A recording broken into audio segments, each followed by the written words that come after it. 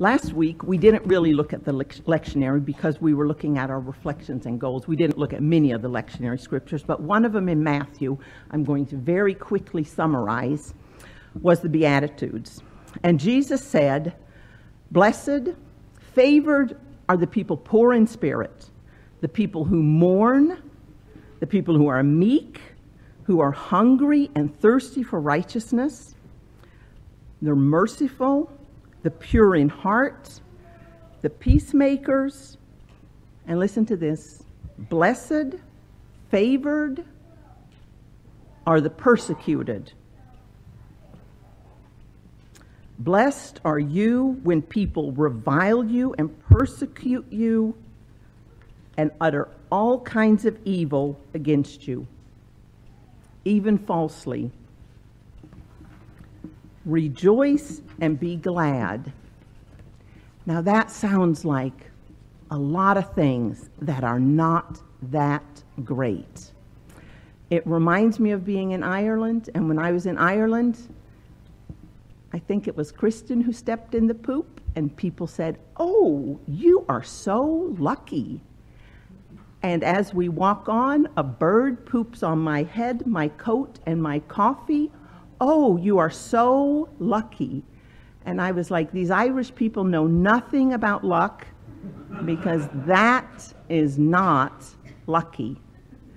Well, when Jesus says all these blessed things, he's picking some things that don't sound that grand to me.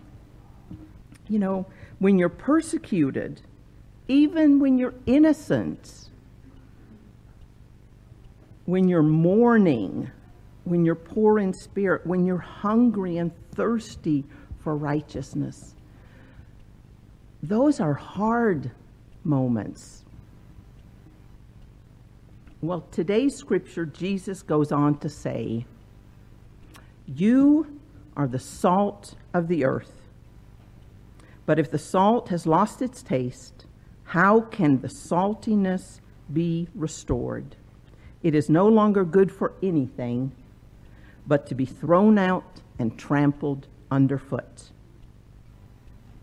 He goes on and says, You are the light of the world. A city built on a hill cannot be hid.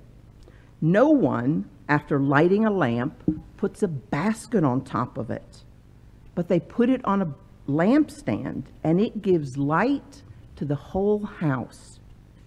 In the same way, let your light shine before others, so that they may see your good works and give glory to your Father in heaven.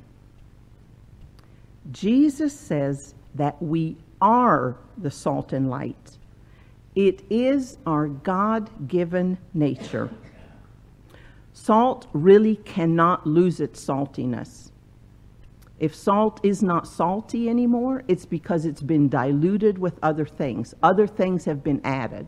But the salt itself is going to remain salty. If you dissolve it in water and you evaporate the water, the same salt is going to be in crystals in the bottom of the pan.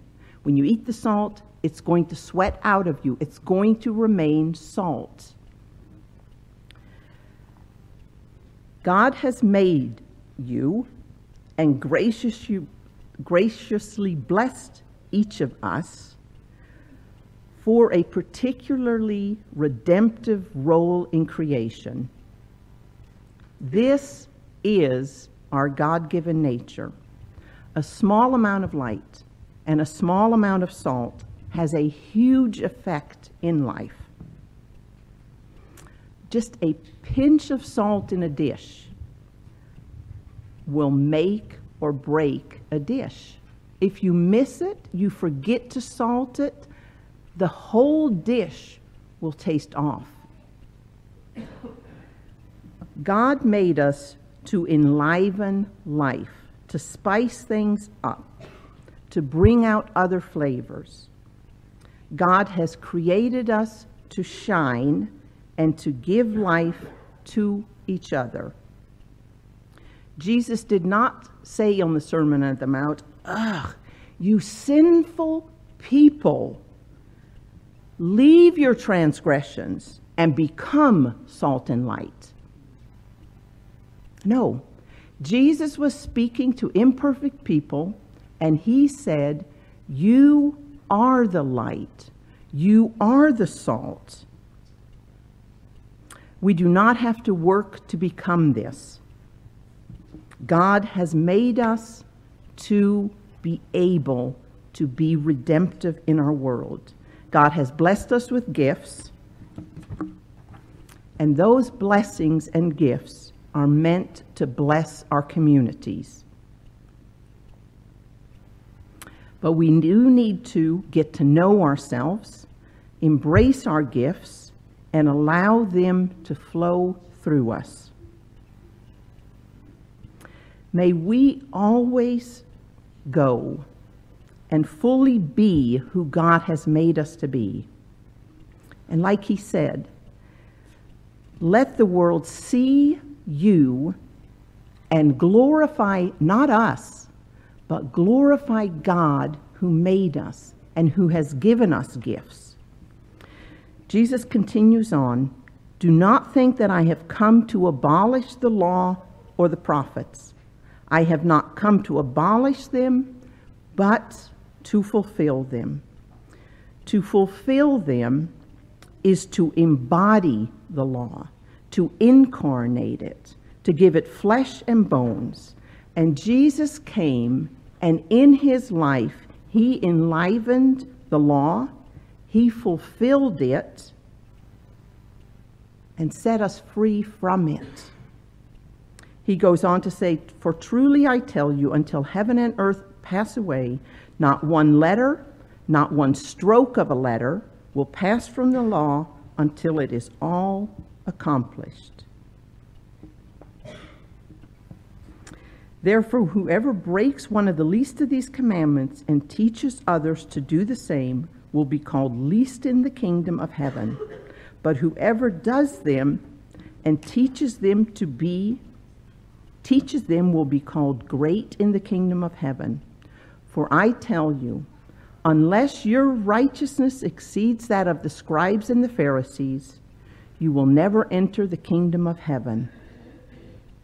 You know, when it ends, it sounds almost like, well, we do need to get it together perfect. But Jesus said that all the law could be summarized in glorifying God, knowing who God is, and loving our neighbor. So we are called we are called to be so much more than self-righteous the Pharisees and the Sadducees walked around saying, Put the spotlight on me. Look how good we are. We fast and we give. Look at us. We pray on the street corners. But we want to be different from self righteous. We are called to be humbly grateful that Jesus fully embodied the law and called us to be sons and daughters of the one Most High. May we all give glory to our Creator through the parts that we do in our corner. May we remove yokes, put away pointing fingers, evil speech, and share our bread, homes, and love. May we enliven God's grace right where we are every day. Let us have a prayer. God, help us to be so inspired by your goodness that we can quote P- Peter's words Lord, to whom shall we go?